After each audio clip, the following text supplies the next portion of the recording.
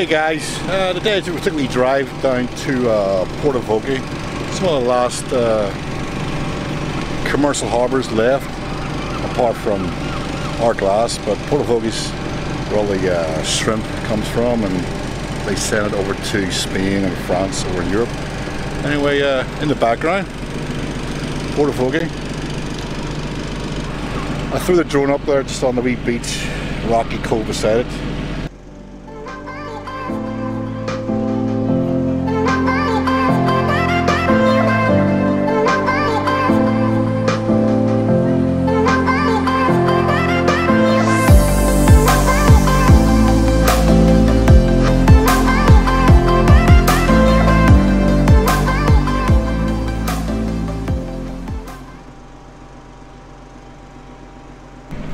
Most of the boats here you see in the background have been handed down through families and generations of generations of families, local guys, uh, fishermen working down here.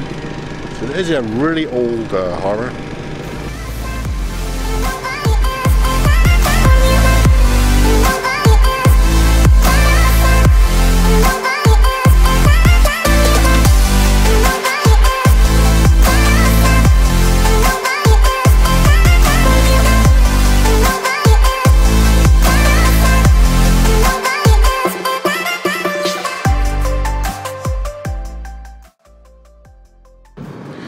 Well, distance there, guys. Uh, that's where the uh, boats get their ice. That's the uh, that's the ice house. So most of the boats will pull up to right there, obviously, and fill up with ice before they are fishing for three or four days. Alright guys, what do we got here? Seal. Awesome.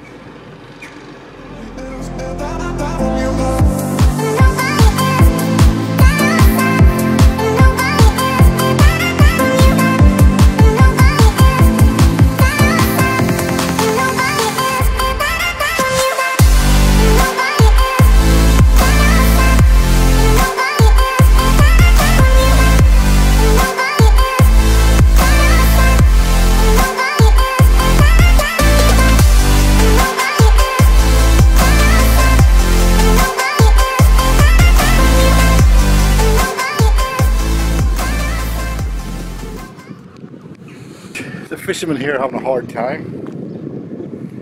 That's what I'm hearing. That because of all the EU regulations and laws, the guys here, more or less, the Spanish, the French trawlers come and taking all, all the fish and all the shrimp and leave these guys with nothing. And then all the quotas. So it's killing the fish industry over here in Northern Ireland. I spotted another, uh, spotted seal there. See it again, you guys all see it. But uh, so that's all that's left down here with the uh, boats. All these fishing boats are like can't afford it and they're been here for a long time and they got to pack up their business they aren't making the money. All right, you there, guys.